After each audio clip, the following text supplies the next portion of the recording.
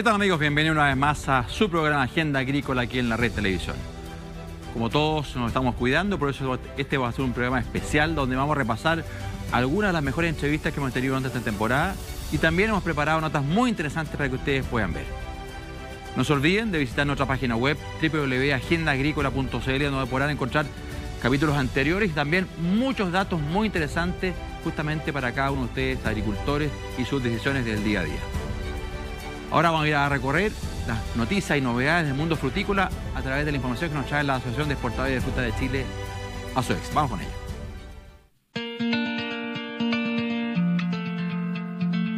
Rebrote de casos de coronavirus llevó a las autoridades de Beijing a cerrar Sinfadi, principal mercado de frutas, verduras y carnes de la capital china.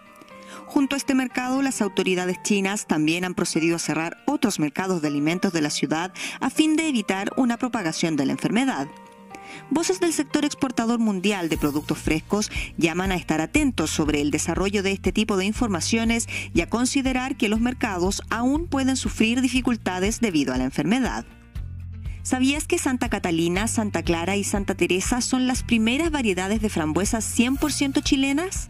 Conocidas también como las santas, estas variedades de frambuesas fueron creadas para mejorar la competitividad de los pequeños agricultores del país y fueron desarrolladas por el Programa de Mejoramiento Genético del Consorcio Tecnológico de la Fruta, conjuntamente con la Universidad Católica y el apoyo de Corfo. El Consorcio Tecnológico de la Fruta de ASOEX viene trabajando hace más de 15 años en programa de mejoramiento genético como un aporte a la competitividad de la fruticultura del país. Hoy día tenemos cinco programas, uva de mesa, cerezas, manzanos, carozos y el programa de frambuesas, que siempre fue pensado como un aporte en particular a la agricultura familiar campesina, aquellos pequeños agricultores que durante mucho, mucho tiempo han sido un gran aporte para el desarrollo económico de la agricultura chilena. Se trata de variedades que destacan por su mayor tamaño, remontancia y productividad frente a otras frambuesas que plantan hoy en el país. Nosotros nos planteamos la idea de hacer una variedad que reemplazara un poco la, variedad Eritas, que es la principal variedad utilizada en Chile por la industria. La industria congelado fundamentalmente el IQF.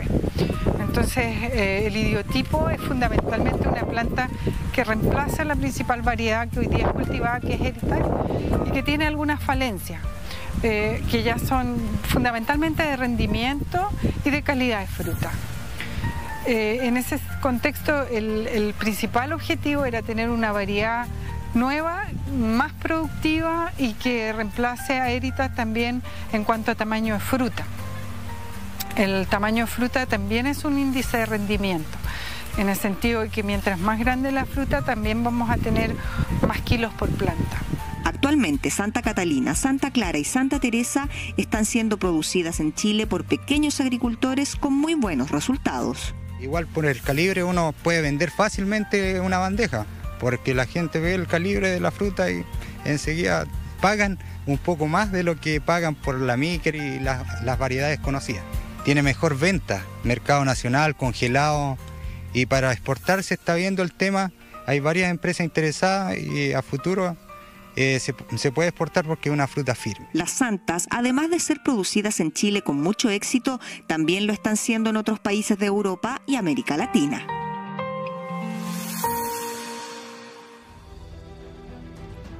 Bueno, interesante información.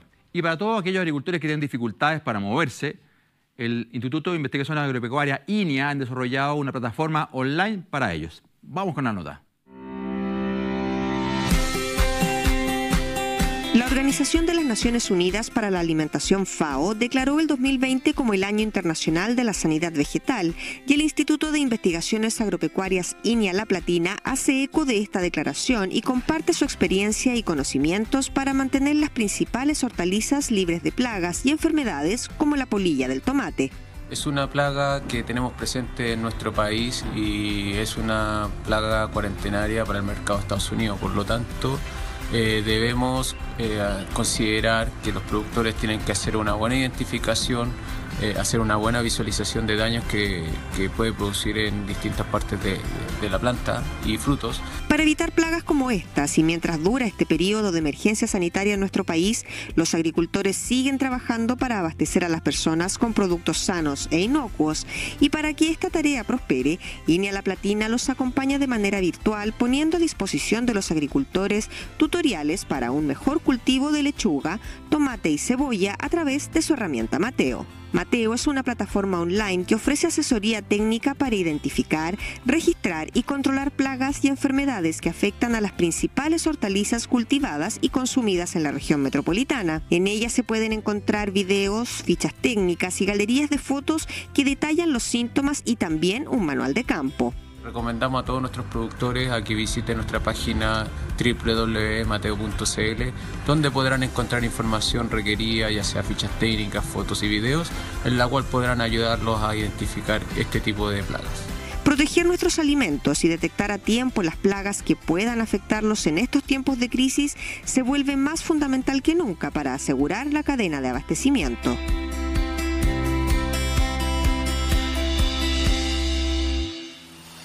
Muy buena iniciativa del INE.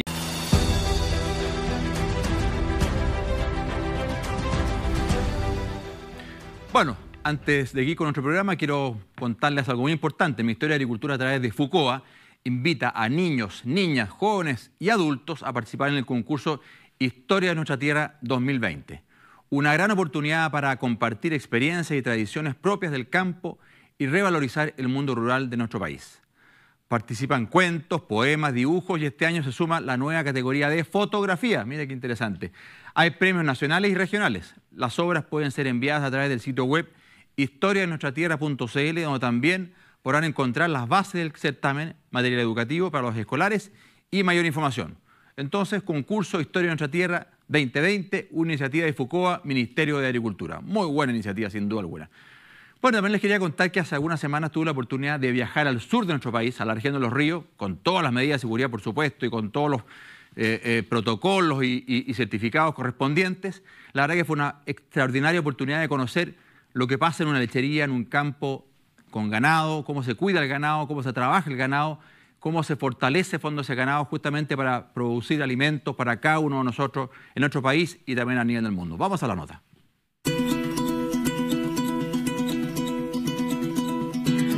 Vinimos a la región de los ríos a ver la agricultura, cómo crece el pasto, cómo crece el alimento para los animales, para la producción de leche, la producción de carne de nuestro país. Miren que están creciendo a puro pasto, sin maíz, sin silo. El precio está medio flojo, no hay que apurarse. Están sanitos los animales. Mira, mira. Mira este diablo. ¿Ah? Este cachugo.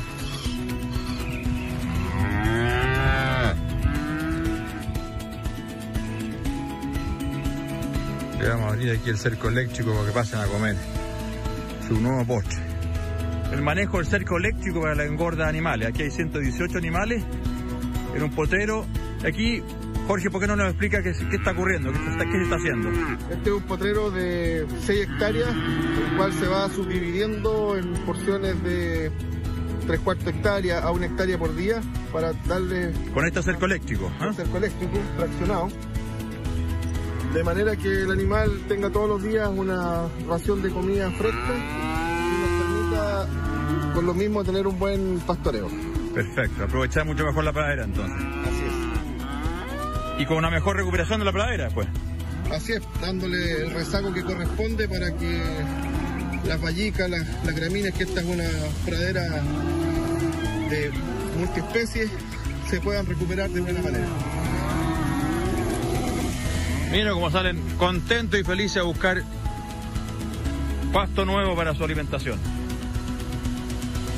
Y se puede observar la diferencia entonces de lo que está siendo comido durante dos días, al lado derecho y al lado izquierdo el nuevo tramo del potrero que estaba dividido a través del ser colectivo. Este pasto ahora lo que le queda entonces es empezar a volver a recuperarse y a crecer. Estamos en la sala ordeña, cuéntenos qué medidas están tomando. Tuvimos hace algunas semanas al presidente Fede Leche que nos hablaba justamente del resguardo por el coronavirus de gente externa, de gente que no tiene nada que ver con la, la propia lechería, la propia sala ordeña. ¿Qué se está haciendo al respecto para evitar el contagio con coronavirus? Bueno, en ese sentido, para evitar el, tránsito de personas que principalmente venían a, buscar su, ración de leche, como nombramos, se restringió el ingreso de personas extrañas a la empresa. O sea, solamente están entrando los ordeñadores a este sector para evitar el, libre tráfico de personas que hasta anterior venían a buscar eh, la leche. Normalmente, perfecto. Vamos a la sala ordeña, Jorge. Aquí se ve, una primera cosa, se ve un piso de goma, Jorge. ¿Cuál es la razón de ese piso de goma? digamos, tener un mayor confort para las vacas donde se están ordeñando. Eh, se más blando, se resbalen menos ya era un piso antiguo, el que, tenía digamos mucha piedra expuesta, pero esto lo solucionamos de una manera que las vacas caminan mejor. Significa finalmente una menor cojera. De todas maneras, menor cojera. Menos estrés, más leche. Más leche, más tranquila la vaca a la hora de, de los cabos. ¿Cuánto? De 12 unidades. 12 unidades. Y ahí lo que ya se denomina hoy día distanciamiento social entre los ordeñadores, José. Eh, o sea, entre los ordeñadores que están trabajando con las mascarillas eh, tenemos, tenemos proveído de eh, alcohol gel, sabor y esas son las medidas que estamos tomando hasta el minuto acá para el COVID, digamos, en el la Perfecto. ¿Y la vaca mientras se está ordeñando, qué está pasando con ella? ¿Se está dando alimentación? ¿Alguna concentrado en especial? Un concentrado especial, un 33 del día, eh, consumo parejo para todas las vacas. Eh, por este sistema de alimentación. ¿Y eso tiene qué objetivo? Eh, o sea, poder dar la, alimentación desconcentrada a las vacas en ración de pareja para todas y darle una mayor tranquilidad a la vaca para que no se ordeña. Es muy importante darle un ambiente de tranquilidad, de, cero estrés. Acá se ha hecho un hibridaje sobre una base de Holstein. Eh, eso, a esa Holten se le puso Jersey hace ya varios años atrás. Y sobre esa mezcla se está trabajando ya por 7, 8 años con rojo noruego. Perfecto. La que es una raza a doble propósito, la que nos ha dado bastante buenos resultados. Un equilibrio entre producción de leche y una vaca rústica además. Y ahí también una, una, búsqueda también de litros y kilos de leche, o sea, una, leche más sólida, sí, más, con más grasa. Con más grasa con respecto a la, a la raza Holstein de todas maneras, pero es un, intermedio entre una Jersey y una Holstein. O sea, nos potencia, digamos, el, vigor que tiene la, la rojo noruego versus, digamos, la, la flexibilidad de las vacas Holstein para esta zona en un sistema pastoril. Bueno amigos, Aquí estamos entonces en la región de los ríos, recorriendo algunos campos de nuestro país, particularmente campo lechero, producción de leche, para el consumo justamente de todos nuestros compatriotas, entregando a las plantas, a las plantas elaboradoras de leche, con un control estricto de todas las normas para evitar cualquier contagio y resguardar la salud de los colaboradores, cuestión fundamental.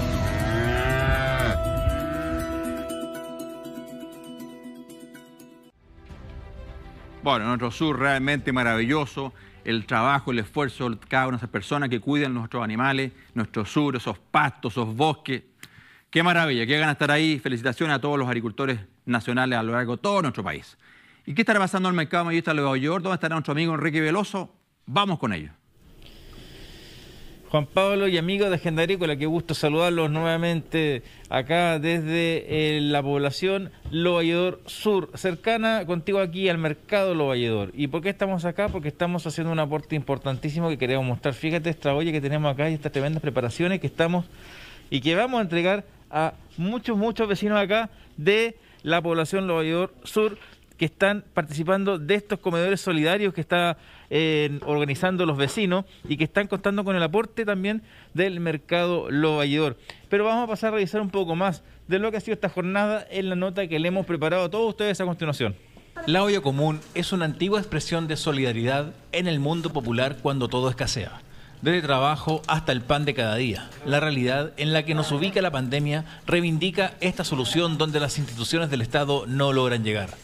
Hoy, tanto la población Lovayor Sur como la Victoria de la comuna de Pedro Aguirre Cerda están preparando ollas comunes para sus vecinos del sector, afectados por la falta de recursos y cesantía que esta emergencia está causando en Chile. Desde el Ovaidor queremos aportar un grano de arena. Una vez por semana estamos acá para este sector, nuestra entrega y nuestro apoyo. Son más de 100 kilos de mercadería destinadas a este menú solidario para 200 personas que los vecinos del Ovaidor Sur, liderados por Verónica Muñoz, preparan en esta jornada. Para la tarea de preparar alimentos se siguieron todas las medidas de seguridad, desinfección de cocina y alrededores, uso de mascarillas, lavado de manos, etc. Asimismo, en la entrega de las raciones se mantuvo el cuidado y la prevención, así como la distancia social. De esta forma, el mercado Lo Valledor sigue prestando apoyo a su comunidad, generando estos aportes para aliviar las necesidades de los vecinos de la comuna. Así, Juan Pablo, vamos cerrando la nota de hoy. Vamos mostrando acá este letrero que invita a todos los vecinos de Lo Valledor Sur a participar de este comedor solidario, de este hoyo común que se está haciendo acá, que está invitando a toda la gente que tiene necesidad en este momento, como podemos ver, aquí ya está funcionando en plena capacidad, esperando que lleguen las personas poco a poco a recibir su ración del almuerzo. Así, Juan Pablo, terminamos la nota de hoy y me despido. Hasta la próxima semana para hablar más sobre tendencia de mercado. Que estén muy bien. Saludos a todos. Cuídense. Bueno, muchas gracias. Siempre el mercado mayorista de Nueva York un paso adelante en el abastecimiento de frutas y verduras en nuestro país. Fantástico. Y bueno, justamente hablando de frutas y verduras, queremos recordar parte de la entrevista que tuvimos hace unas par de semanas con el destacado investigador Bruno de Filippi, que nos hablaba de cómo conservar mejor nuestras frutas y verduras en nuestras casas. Vamos con ella. ¿Todas las frutas y verduras debemos, debemos ingresarlas al refrigerador? ¿Todas o algunas sí, algunas no? Mira, eh, no necesariamente por distintos motivos. Primero, a diferencia, como tú señalas el ejemplo de la exportación, en la casa tenemos un refrigerador con una capacidad muy limitada, muy limitada de frío. Claro. Entonces, aprovechándonos de esta época, otoño-invierno, que tenemos temperaturas más frescas, podemos destinar gran parte de la fruta a lugares más frescos e identificados en la casa. Y un refrigerador limpio, perdona, como estaban ahí mostrando. ¿eh? Claro, justamente, ya porque cuando bajamos la temperatura, bajamos esa tasa de deterioro. Eso es lo principal que se tiene que entender. Entonces, la mejor condición va a ser una condición de baja temperatura. Ahora, casi todas las frutas que consumimos en esta época, salvo el plátano o la banana, que se consume en forma anual, eh, todas tienen la capacidad de almacenarse a la temperatura de un refrigerador que son entre 4 a 6 grados Celsius, Perfecto. sin sufrir daño. El tema es que es un espacio reducido, eso hay que tenerlo súper claro. Entonces, lo peor que puedo hacer es dar una recomendación de guardar todo el refrigerador y voy a saturar el refrigerador y lo más probable es que incluso eche a perder el equipo con ese sistema. Bruno, ¿y es bueno, ¿y es bueno guardarla envuelta en algo, esa fruta y verdura, o, totalmente abierta, sin, sin, ninguna protección? Mira, para el caso de hortalizas quizás donde hay que tener más precaución, igual a hortalizas de hoja, lechuga, espinaca, repollo, que son eh, tejidos que se deshidratan o pierden agua muy fácil. Entonces, lo indicado acá es utilizar eh, bolsas, ¿ya? bolsas que no sean herméticas, que tengan cierta ventilación, ¿Con qué objetivo? De disminuir la pérdida de peso. Es decir, yo a través de la bolsa estoy generando un ambiente de alta humedad y evito que esa, que esa hortaliza en realidad pierda humedad. Pero tienen que ser bolsas con cierto nivel de ventilación. Y esa bolsa, ah, ah con, nivel de ventilación, es decir, con, con hoyitos, digamos, ¿ah? Sí, con unas perforaciones, con un lápiz, con una perforadora, porque lo peor que puede pasar es que tenga un ambiente hermético. Mira, justamente en la imagen, ahí están haciendo las perforaciones. Ya. Entonces, eso es lo ideal. Si tengo un ambiente hermético, sin, sin la posibilidad de que le entre oxígeno y lo quiero almacenar por largo tiempo, lo más probable es que tenga más problemas que beneficios. Eh, Bruno, tú decías eh, en el caso de la fruta, el cuidado con el machucón o que tenga algún indicio de una inicio de una pudrición. En la imagen ahí de apoyo se mostraba el caso de las lechugas, ¿no? Es importante sacar esas hojas eh, externas que tal vez vengan un poquito más dañadas y quedarse con lo, con lo interior? De todas maneras, de todas maneras, por distintas razones. ¿Por qué? Porque esas hojas fueron las más expuestas al deterioro, a la suciedad. Recuerde que esto viene del campo, donde hay mucho polvo, etcétera.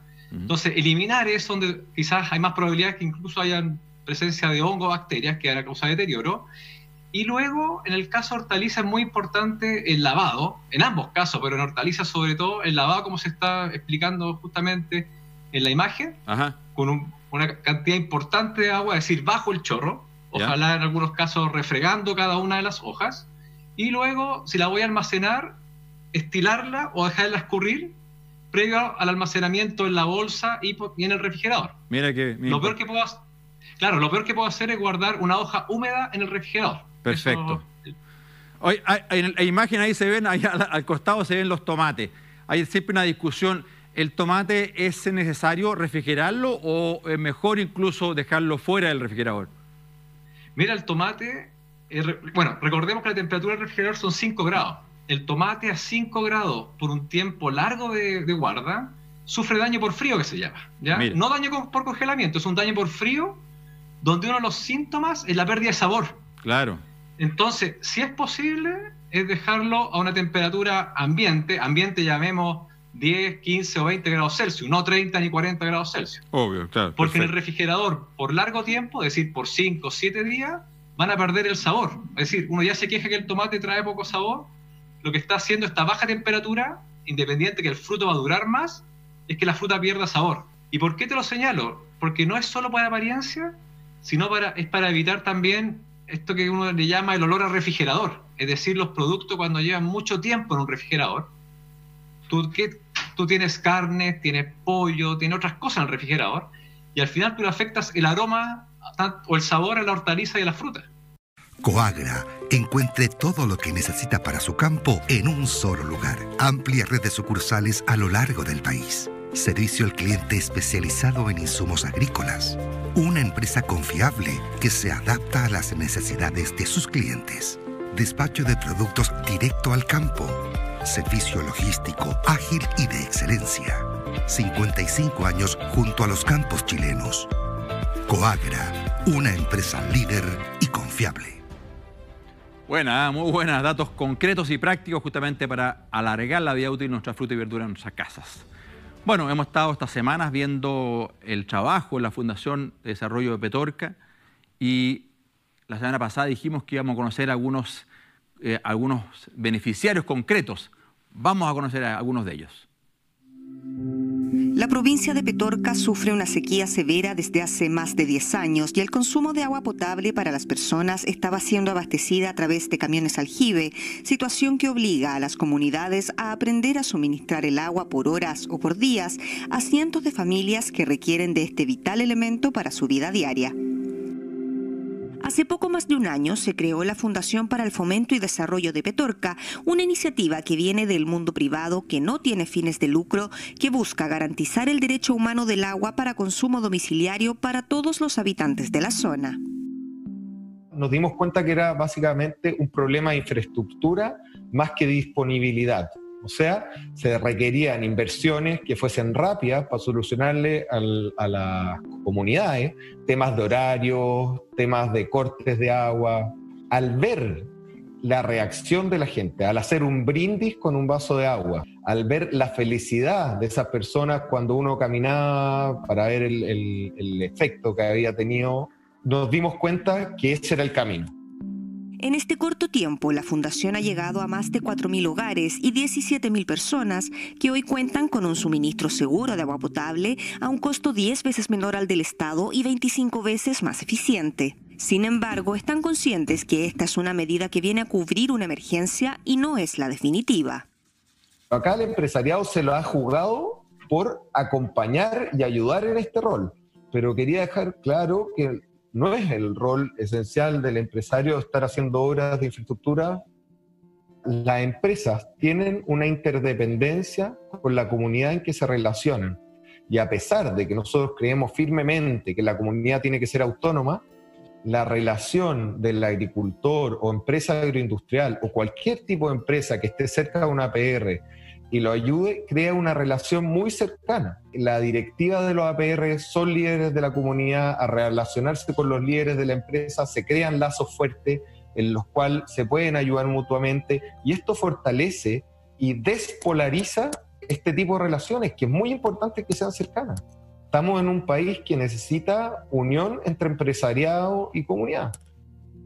El trabajo que ha hecho la Fundación para el Fomento y Desarrollo de Petorca se ha realizado en conjunto con los distintos APR y con ellos se han definido cuál es la mejor solución para cada uno. Este trabajo ha permitido además establecer un vínculo estrecho que perdurará en el tiempo. Si no se hubiese construido este pozo, eh, Calle Larga en este momento hubiese estado seco, no habría agua ni para, para la bebida, menos para los animales. Si ustedes quieren ver, está funcionando el, pozo, está tirando agüita. Se siente la agüita ahí, se siente la agüita fluir, así que es muy importante esto para nosotros. Si hubiese sido por esta obra de este pozo, eh, pienso que habrían muerto muchos animales de sed, porque el agua que, vienen a dejar en camiones aljide no es suficiente. Por lo tanto, eh, se agradece mucho. Nosotros gracias a esta fundación podemos eh, tener agua porque el pozo actual no, nos lo está dando los metros que necesitamos para toda la comunidad. Nunca pensamos que iba a ser tan rápido también, porque nos dijeron, ah, ya, pongamos en marcha esto la otra semana y que no se borró nada. Yo creo que menos de un mes. Bueno, se hizo el pozo nuevo, y de ahí se, instaló la bomba, se sacó el agua para, la copa. La gente está toda contenta porque el agua es lo principal, porque ahora con, con agua se hace todo. Gracias a esta fundación eh, tenemos la solvencia de poder tener agua en nuestras casas, agua para nuestras mascotas, que es súper importante. También una casa sin, sin planta, un arbolito o sin un animalito, eh, también eh, es muy depresivo. Así que agradecer a la fundación por este apoyo y, pedirle que no nos, nos abandonemos. Hasta la fecha, la Fundación ha invertido 250 millones de pesos para soluciones que tienen un costo que van desde los 6 millones hasta los 30 millones de pesos. Su trabajo continuará hasta cubrir los 12 APR que aún quedan por ayudar, lo que requiere de una inversión de 360 millones de pesos. Esto es una obra de emergencia hasta que el Estado pueda resolver los temas de fondo y permitir que la provincia de Petorca cuente finalmente con agua de manera permanente. El agua, que es la fuente principal de vida, hoy llega a las familias de Calle Larga, Valle Los Olmos, Quebradilla, Valle Hermoso, Villa Alberto Callejas, El Francés y La Higuera. Hola, soy el invitado especial Matías Maldonado. Si se acaba el agua no podremos hacer acciones. Es por eso que vine acá a, investigar si, el, si al menos podemos salvar nuestra escasez de agua para los animales y tanto para nosotros. El trabajo de la Fundación para el Fomento y Desarrollo de Petorca es fundamental para que Matías y los demás niños de Petorca no tengan que preocuparse si tendrán agua para sus mascotas y sus árboles. Bien, ah, excelente el trabajo desde la Fundación de Desarrollo y Fomento de Petorca. Bien por ello y bien precisamente por esos beneficiarios de ese trabajo. Banagro, la única institución financiera dedicada exclusivamente al mundo agrícola. Servicios financieros de corto, mediano y largo plazo. Financiamiento de contratos, créditos, leasing y proyectos. En Banagro comprendemos las necesidades de nuestros clientes. Asesoría financiera a la medida de cada agricultor. Somos profesionales de la agricultura. Banagro, entendemos y financiamos tu negocio. Empresas Sutil líder en agronegocios. El mundo frutícola, por otro lado, es un mundo que se ha ido desarrollando fuertemente en nuestro país, es un actor súper relevante a nivel mundial y también ha debido fondo sortear justamente las vicisitudes de esta pandemia. Tuve una entrevista con el presidente de la Asociación de Exportadores de Fruta de Chile, don Ronald Baum. Vamos a recordar parte de ella. Quería preguntarte, ¿en qué situación se encontraba la fruticultura a principios de marzo cuando llega la pandemia a nuestro país, Ronald? Bueno, en primer lugar, eh, felicitaciones eh, por el programa. Creo que esto es un apoyo interesante, importante, relevante para nuestra actividad. Estamos muy contentos que se haya retomado. Les deseamos mucho éxito. Muchas gracias. Nos encontrábamos prácticamente en el, inicio de la temporada ya, había pasado algo de, fruta temprana, uvas, arándanos, las cerezas habían, se habían exportado en una muy buena cantidad ya al mercado chino, mucha fruta arribando, en tránsito, zarpando. Estábamos respecto de las cerezas ya con la, mayor parte del proceso terminado, pero eh, almacenada, almacenada y muchas otras frutas también en muchos otros destinos.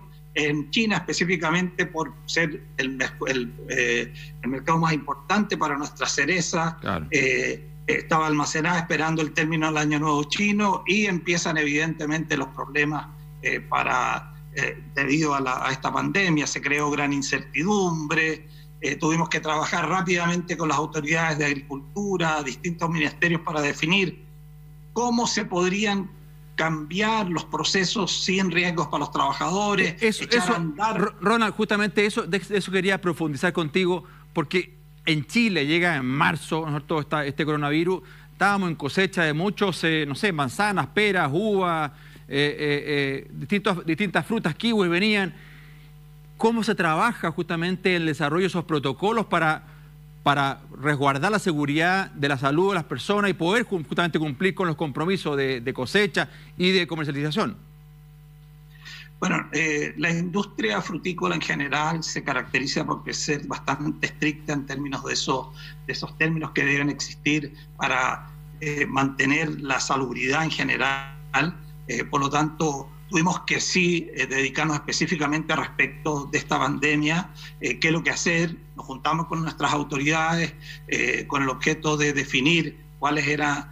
Lo más importante era mantener la salud de nuestros trabajadores. Y en ese, en ese sentido creamos una serie de acciones destinadas y las pusimos por escrito en documentos con el objeto que el trabajador estuviese tranquilo respecto de que se iba a evitar al máximo cualquier posibilidad de contagio. En ese sentido también... Dale seguridad. evidente, tenía, tenían que tener la certeza de que al menos se iban a minimizar las posibilidades de contagio, no solamente, por ejemplo, en los traslados, eh, tuvimos que eh, colocar buses que tuvieran mayor capacidad o los mismos buses, pero con, menos, con mayor distancia entre los distintos eh, pasajeros. Eh, tuvimos que, eh, implementar una serie de formalidades para el ingreso al, trabajo específicamente. ¿Y cómo han reaccionado, ¿y cómo han reaccionado Ronald, las personas, los trabajadores, justamente a, a contar todas esas medidas que, que se han implementado?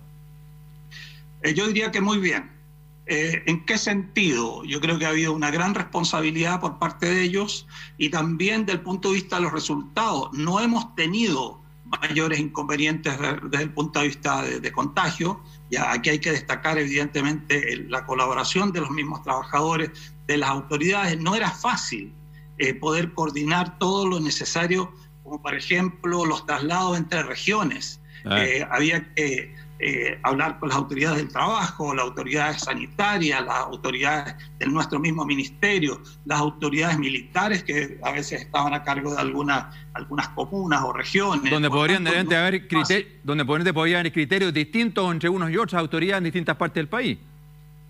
Bueno, por supuesto, y eso sucedió, sucedió muchas veces, pero rápidamente ahí tengo que destacar el, compromiso del subsecretario de Agricultura, eh, también el del señor ministro, que trabajaron mucho, mucho, eh, el ministro buscando las soluciones globales, el subsecretario buscando las soluciones particulares, que se, se produjeron mucho en el, al comienzo, eh, con mucha intensidad, pero yo diría que ya al correr de unos días ya se había solucionado prácticamente todo. Y la cadena, y la cadena logística, Ronald, ¿cómo, ¿cómo ha logrado también operar justamente para llevar esos productos desde el campo a las plantas de proceso, de las plantas de proceso a los sitios de inspección, a los puertos y finalmente puede llegar a distribuirse a lo largo del mundo y también en nuestro país? Bueno, también eso fue una situación bastante compleja. Eh, primero, yo creo que hay que destacar el compromiso de nuestros trabajadores a lo largo de toda la cadena. O sea, eh, quienes colaboran con nosotros, nuestros trabajadores fundamentalmente, ahí se inicia todo desde la cosecha hasta todo el proceso, y de ahí en el, tráfico, el tránsito, a, los puertos, los, eh, los trabajadores portuarios, eh, todas aquellas personas que, que, trabajan en la certificación, la documentación. Esto, este es un proceso tremendamente complejo porque además teníamos que buscar soluciones rápidas, por ejemplo, a los certificados fitosanitarios, los certificados de origen. ¿En qué sentido? Eh, había mucha fruta que había sido embarcada a algún determinado mercado y teníamos que derivarla hacia otro mercado. Ah, mira. Habían puertos que estaban cerrados, por lo tanto se tuvo que utilizar una serie de, por ejemplo, fotocopias autorizadas en vez de un certificado propiamente tal. Eh, por lo tanto, eso significó evidentemente un gran trabajo, pero pudimos salir adelante y también eh, en términos de todo el, el, transporte, tuvo que realizar una muy buena labor en ese sentido.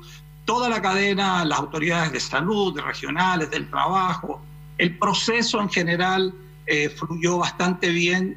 Sí tuvimos problemas bastante serios, por ejemplo, en el caso de China, en que hubo un atochamiento de contenedores bastante grande, eh, se cerraron algunos mercados. Eso te quería preguntar, eso justamente te quería preguntar, Ronald, porque ha sido un trabajo bastante duro ¿no? y, y, a toda carrera. ¿no?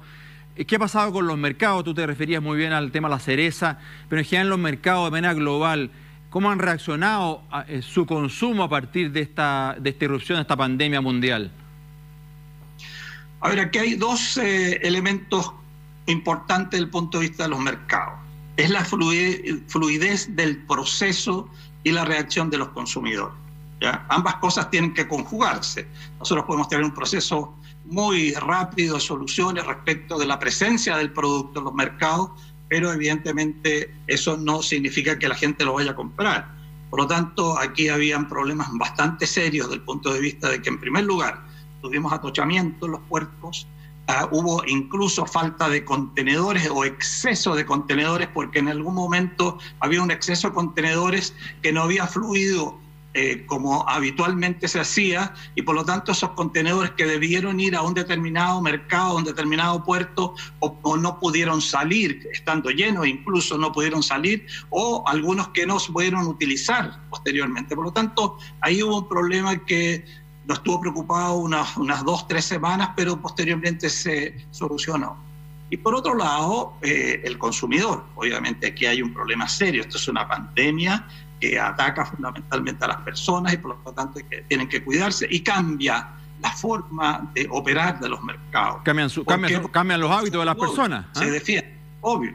Hay un hábito distinto. Primero, hay un hábito eh, de comprar más bien con mayor seguridad. ¿Y eso qué es lo que significa? Vía computador, online, eh, que los productos lleguen, eh, que ellos no, no salir. Había muy pocas tiendas que se abrían por lo tanto era bastante más complejo. Y por otro lado, el hábito de buscar mayor salud. Y en ese sentido, afortunadamente, nosotros hemos coincidido al punto de vista de que nuestros productos son altamente nutritivos, pero también buen contenido de vitamina C. Y ahí en ese sentido, los kiwis, las manzanas, las cerezas, los cítricos, obviamente están especialmente requeridos en este tipo de ocasiones. Así es, sin duda alguna, fantástico, Ronald. Muchísimas gracias por este importante contacto. Saludo al perrito que tiene ahí a su izquierda. Un gran abrazo, a cuidarse y, un, y a través tuyo también un gran abrazo a los productores y exportadores de fruta de nuestro país. Muchas gracias por este contacto. Interesante entrevista con el presidente de la Asociación de Exportadores de Fruta de Chile. Bueno, el coronavirus llegó a nuestro país, se extendió y también incluso llegó al, mundo, al, al territorio insular Isla de Pascua. Justamente por eso es que un grupo de agricultores, emprendedores de la isla debieron reinventar su negocio. Vamos a la nota. La llegada del coronavirus a nuestro país ha afectado no solo a Chile continental. A 3.700 kilómetros de las costas nacionales y en medio del Océano Pacífico, la isla de Pascua también ha debido enfrentar la contingencia sanitaria y soportar una dramática caída del turismo. La agricultura en la isla de Pascua es una de sus principales actividades junto a la pesca y las condiciones propias de la isla permiten el crecimiento de piñas, mangos, guayabas y plátanos, entre otros, productos que eran la base de un prometedor proyecto de unos jóvenes emprendedores de Rapanui. Vender estas frutas de la isla deshidratadas era buen emprendimiento para Rafael Ereberi y Leslie Ahumada, ya que los turistas que llegaban a la isla podían llevar como souvenir a Europa o a Asia, donde estos productos no tienen restricciones sanitarias. Pero la llegada del COVID-19 obligó a estos dos agricultores a reformular su negocio y rápidamente comenzaron un sistema de reparto de hortalizas y frutas de temporada a domicilio. Los clientes aparecieron rápido y ahora todos los lunes, miércoles y viernes despachan por 15 mil pesos una canasta surtida con todo lo necesario para una familia. Lechugas, tomates, acelgas, betarragas, camote, mandioca, taro, guayaba y plátano. Rafael y Leslie tienen un espacio de venta de sus productos a las afueras del mercado agrícola local y ahora se las han debido ingeniar con este delivery que cuenta con todas las medidas sanitarias de prevención, guantes, mascarillas, alcohol gel y lavado de frutas y verduras. Cuando pase el periodo más crítico de la pandemia, la pareja de isleños espera poder retomar su proyecto inicial de frutas deshidratadas, por el que fueron reconocidos por la Corporación Nacional de Desarrollo Indígena CONADI como mejor emprendimiento 2019 y por el que ahora esperan los resultados de su postulación a la Convocatoria Nacional de Proyectos de Emprendimiento Innovador 2020 de la Fundación para la Innovación Agraria FIA. La agricultura en Chile no para y en Rapa Nui tampoco. Y gracias al ingenio y trabajo de estos pequeños agricultores, usuarios de INDAP, la gente y las personas más expuestas de la isla pueden permanecer abastecidos de hortalizas y frutas. Bueno, muy bien, como todos los emprendedores del país, reinventándose, buscando nuevas formas de llevar adelante sus negocios. Estupendo, felicitaciones. Y quería informar lo siguiente, Ministerio de Agricultura creó una escuela de capacitación online especialmente pensada para los asesores de la agricultura familiar campesina, con el objetivo de poner a disposición conocimientos relacionados con la adaptación al cambio climático y apoyados en tiempo de pandemia. En chileagrícola.cl podrá encontrar más de 200 contenidos sobre temas del agro, compartirlos con un simple clic por redes sociales, WhatsApp, correos electrónicos o descargarlos en su computador. Además, al registrarse en el sitio web podrán mantener contacto con la comunidad agrícola de Chile. Esta nueva plataforma irá sumando material cada semana. Chileagrícola.cl, una iniciativa del Ministerio de Agricultura y sus servicios. Muy buena iniciativa, sin duda. Y queremos recordarle que ustedes también visiten la página web de nuestro programa www.agendaagrícola.cl, donde podrán encontrar todos los capítulos de nuestro programa, además de información del tiempo, alertas de la, pronósticos de mareas y mucho más. Ingresa entonces a www.agendaagrícola.cl. Vamos a una breve pausa y ya volvemos con más aquí en Agenda Agrícola en la red televisión.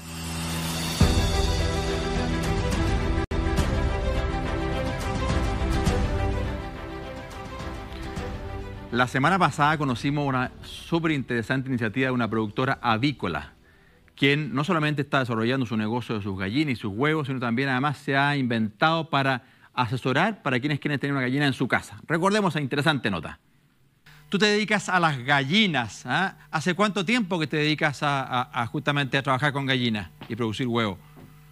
Estoy ya hace casi cuatro años trabajando con aves y comercializando huevitos de gallina libres, solteras y felices. Solteras y felices. ¿Y por qué te decides, por qué te decides a dedicarte a este rubro, Natalia? ¿Cuál es tu, cuál es, ¿Hay alguna historia detrás, familiar o, o nace de dónde esto?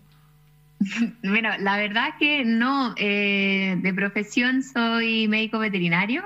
Siempre me han encantado los animales, el campo y por una idea que tuve y un contacto que tuve con gallinas hace cuatro años, me di cuenta que, bueno, yo tampoco comía mucho huevo. Cuando empecé a producir los huevitos de mi gallina, me encantó y empecé a producir así de a poquito más para la familia, los amigos y de a poco se fue transformando en un, en un negocio que le estaba yendo bien, que la gente lo estaba recibiendo bien, por lo tanto, de ahí nos quedamos. Hoy día ya llevo, ya comercializo bastantes huevos, tengo una red de clientes ya consolidada, así que muy bien. ¿Cómo te ha afectado la, esta, esta pandemia justamente en el término de la comercialización?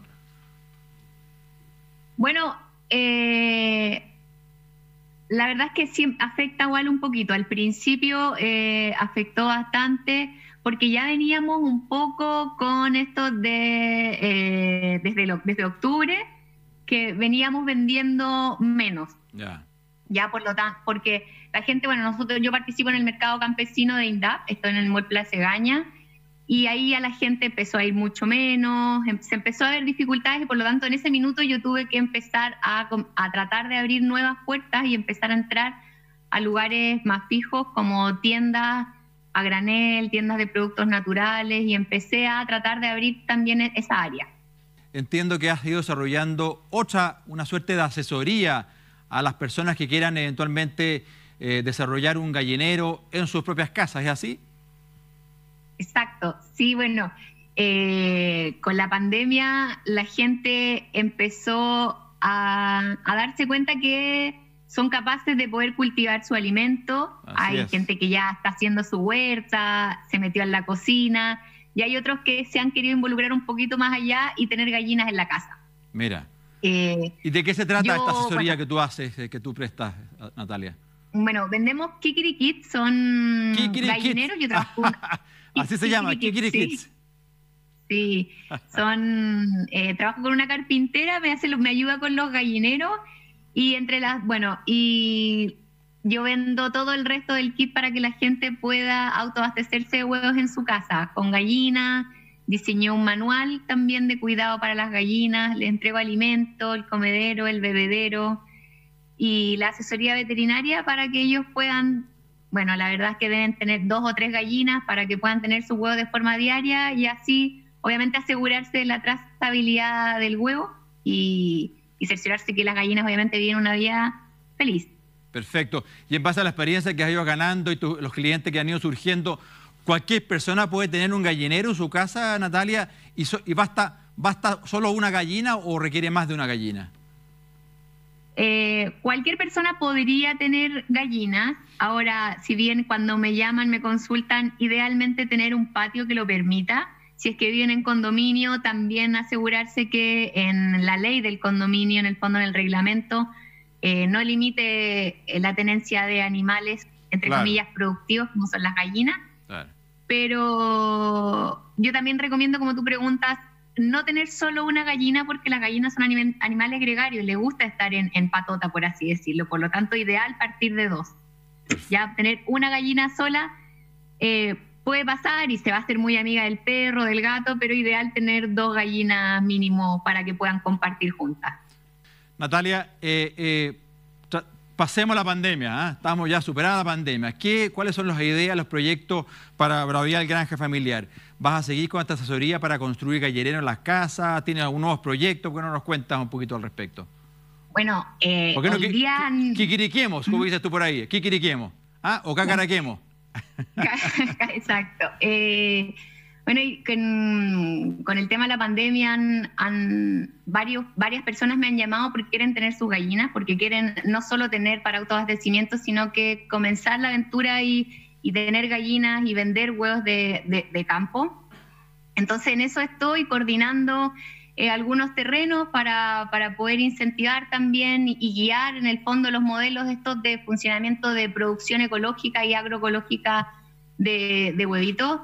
Y por otro lado también estoy creando una cooperativa que se llama Queltehue, una cooperativa de trabajo campesino con otros cuatro amigos productores y agricultores para empezar también huertas. Eh, yo tengo frutales, la idea es poder entregar a la gente más que huevos, sino que productos que vienen del campo, alimentos completos porque queremos seguir siendo un aporte a la salud y a los buenos hábitos alimenticios de las personas, es que existe Dole. Sabemos que las frutas y verduras juegan un rol fundamental para una alimentación sana y en Dole Nutrition Institute hemos dedicado tiempo y recursos a la investigación de sus componentes. Nuestros vegetales son cortados, sanitizados y envasados en atmósferas controladas para mantener su vida útil. Con orgullo esperamos seguir contribuyendo a nuestra más importante misión, velar por la salud y calidad de vida de nuestros consumidores. Muy bien amigos, ese ha sido el capítulo de hoy día, con notas interesantes, esperamos que les haya gustado y por supuesto recordarles algunas de las más importantes entrevistas de nuestros eh, capítulos anteriores, muy interesante por cierto. Lo más importante, siguen cuidándose, no salgan de su casa si no es estrictamente necesario, porque tenemos que cuidarnos nosotros y nuestro entorno y todos los demás de modo salir lo más pronto posible de esta pandemia. Como siempre, les dejamos invitados a un nuevo capítulo de Agenda Agrícola aquí en la Red Televisión la próxima semana. Hasta luego y cuídense.